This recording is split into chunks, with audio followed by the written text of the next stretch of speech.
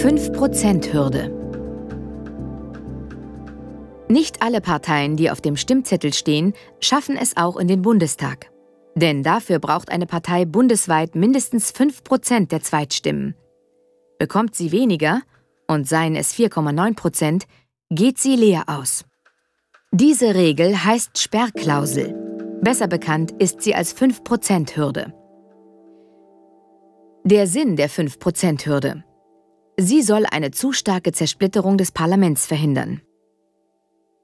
Wer die 5%-Hürde nicht überspringt, kann es trotzdem in den Bundestag schaffen. Dazu muss eine Partei mindestens drei Direktmandate gewinnen. Die kann sie bekommen, wenn sie in drei Wahlkreisen die meisten Erststimmen erzielt.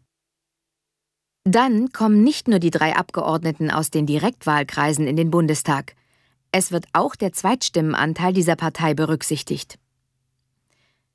Ein Beispiel. Die A-Partei hat bloß 4% Zweitstimmen bekommen, damit kommt sie wegen der Sperrklausel eigentlich nicht in den Bundestag. Weil sie aber drei Direktmandate gewonnen hat, schafft sie es trotzdem. Für die A-Partei ziehen nicht nur die drei Direktkandidaten in den Bundestag, sondern wegen der 4% gewonnenen Zweitstimmen auch noch zusätzliche Abgeordnete.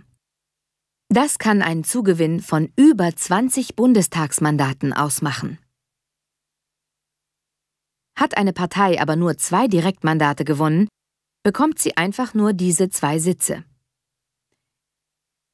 Also, wer weniger als 5% der Zweitstimmen erhält und nicht mindestens drei Direktmandate gewinnt, verliert alle Zweitstimmen.